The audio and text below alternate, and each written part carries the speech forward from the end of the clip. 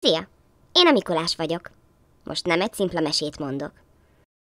Velem történt egyszer, még réges-régen, de hidd el, amíg élek, én erre emlékszem. Jöttek az ünnepek, készülöttünk nagyon. Pici manólábak szaladgáltak a havon.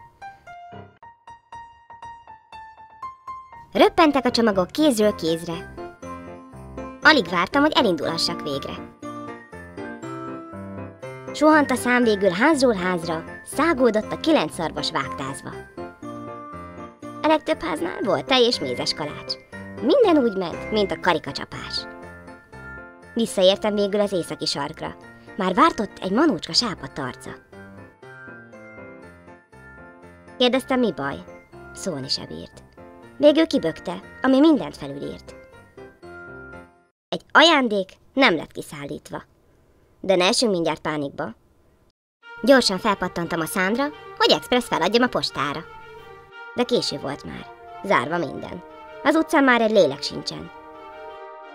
Ide-oda kaptam, mit évő legyek. Ajándék nélkül maradjon egy gyerek. Na, azt már nem, gondoltam magamban. Hívtam a szarvasokat szépen sorban. Üstökös, íjes, csillag, táncos! Gyere, pompás villámágas tátos! Ja, és Rudolf, rád is nagy szükségünk van. Nem tudom, mi lenne velünk nélküled egy hóviharban. Időszűkében voltunk, de elindultunk végül. A Mikulás nem hagyhat senkit ajándék nélkül. Persze, aki megérdemli, hisz tudod, aki rossz, annak csak virgácsot hozok. Szóval úgy szágoldottunk, mint előtte még sose. Reggelre meg kell, hogy teljen minden egyes cipőcske. Épp, hogy odaértünk végül azon a téli éjjel. Gondoltam, végül minden rendben lészen. De nem. Ó, most lett csak bajos az este. Beszorult a kéménybe a Mikulás kis teste. Kicsit sok a süti, mondja mindig télanyó. Én meg, hogy csúnya a sovány télapó, ho-ho.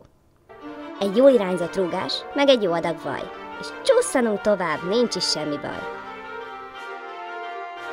Keresem a kis cipőt, végül meg is találom. Gondosan lerakom a pofás kis ajándékot.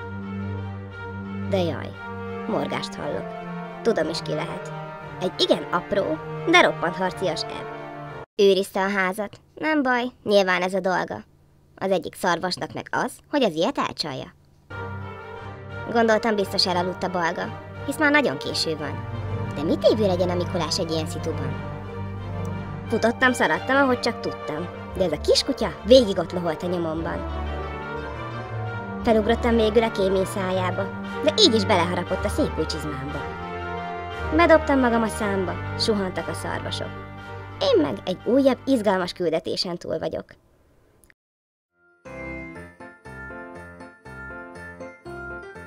A sok gyerkőc reggel ajándékot talál, mosolyul majd végül mindegyik arcán.